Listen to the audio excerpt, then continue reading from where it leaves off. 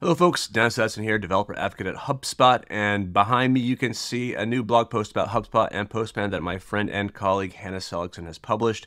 She's worked very hard on this, and I'm going to go through what Postman is, what the new features we've added, and how you can get started. Stick around. Okay, what is Postman? Uh, if you have not had a chance to read this article, I will make sure to put a link down in the description below. Uh, does a great job of detailing the entire thing. But in short, Postman is going to allow you to build, test, and share APIs. We at HubSpot use the sharing aspect of it in our documentation. If you go over to the docs, you'll see here that I have the contacts object pulled up, and you have an option over here that says run in Postman, which will allow you to do in the web or download it to your local configuration. Um, this is the way we have done it historically, and this has not been updated yet. So what I want to do is just say it's here, keep an eye on it, and this will be updated in the future. All right, here we are in postman.com slash HubSpot, blah, blah, blah, blah. I'll definitely have a link to this as obviously down in the description below. And it should bring you to something like this. I am signed in with an account, um, and it is a free account. You can use free for this for all purposes. That should be fine. And we want to go down here. This is APIs as I said, we're working with the contacts. So I am going to find CRM dash contacts, click on that, and I should be able to uh, right click on this contacts API collection. Click that, create a fork. Watching this, you'll see that I can name it whatever I want. I'll leave it like that because why not? Put it in my workspace. If I had multiple workspaces, it would show up. I can just choose whichever workspace I want to be in. And this is the important part uh, watch the original collection. What this is going to do is anytime that we at HubSpot make an update, you know, we change it, we delete, we create a new API or endpoint, or just how we work with things, we will merge it here and you will be able to pull down the new definition or whatever changes might be. So let's go ahead and fork that collection. And now I'll be able to move over to Postman and start working with this. If I go down here, workspace, my workspace, and collections, you can see now that we have this port forked.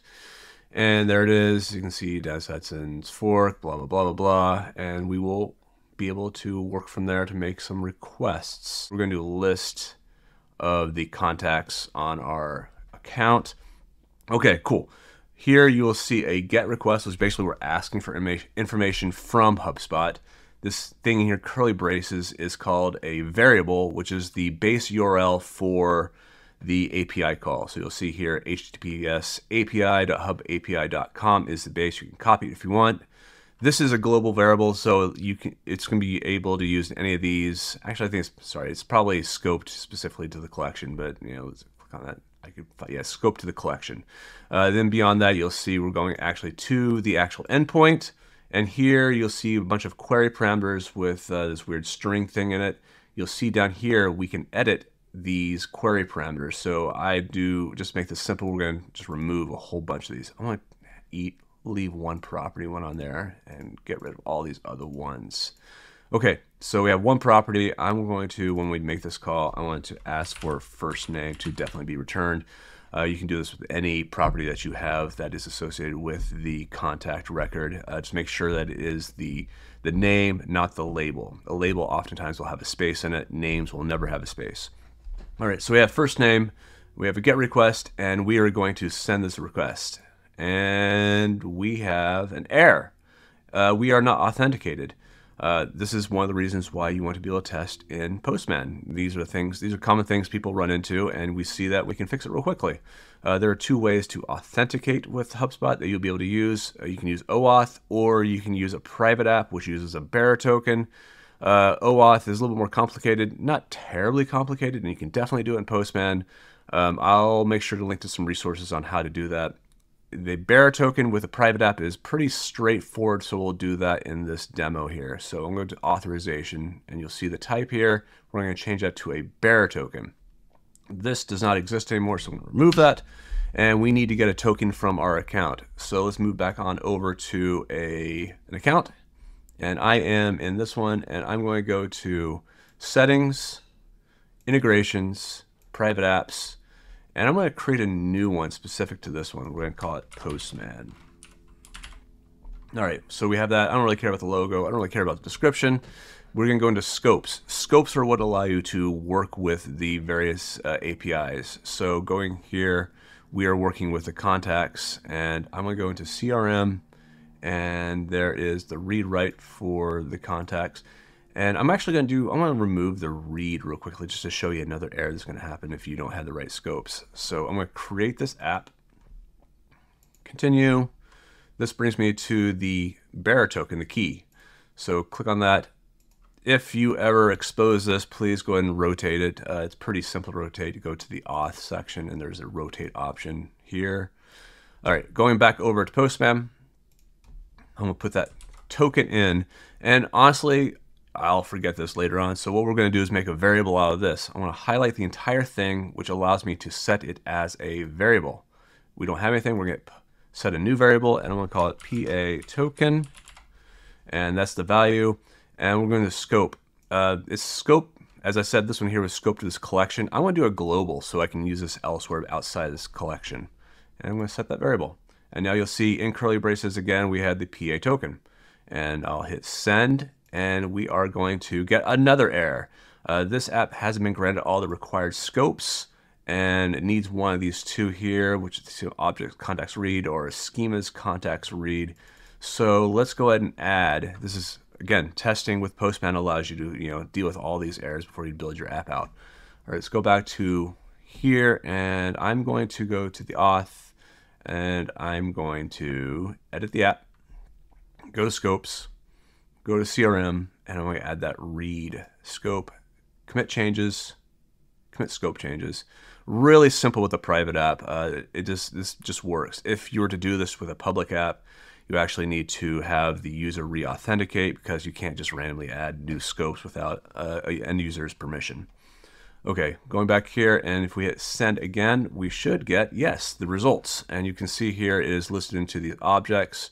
You can, you know, go ahead and do this so you can see other ones. And you'll see I have the first name property, which I did ask for in my parameters. So let's say just, just for fun, let's add, uh, instead let's do, um, here I'll add another property and call it last name as well. Send and now we have last name. Cool. Uh, let's actually do a, let's create a contact. Why not?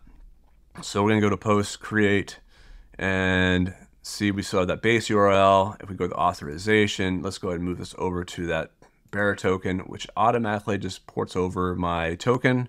Cool. Headers we don't have to worry about right now.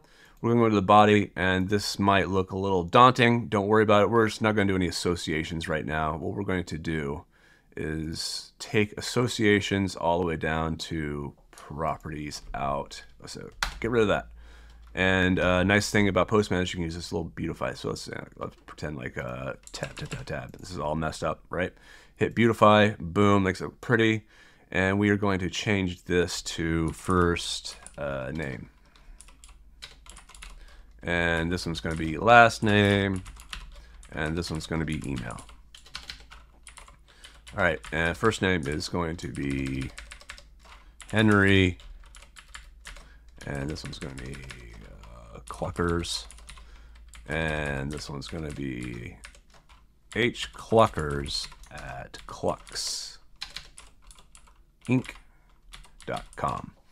All right, and let's hit send. So we're making a post request. We're sending data to HubSpot. We're creating a new contact with this. All right, hit send and there we go. You will see now we have an email, we have a create date, all that good stuff has been added. If we went back into our contacts, contacts here, and we can see that we have, uh, what did I call it again? I forget what, Henry, right? Henry, Henry Cluckers, there it is. And all that information is there. So that is how you are going to use Postman. Um, if you have any more questions about this, please feel free to ask in the comments below. Uh, again, I will link to Hannah's really well thought out blog post, and I want to thank her again for working so hard on making this a reality. Um, have yourselves a great day. Bye bye.